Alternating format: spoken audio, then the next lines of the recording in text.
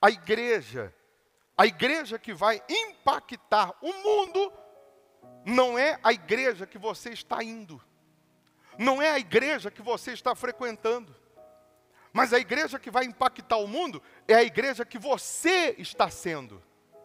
Será que você está sendo a igreja do Senhor Jesus? Pense.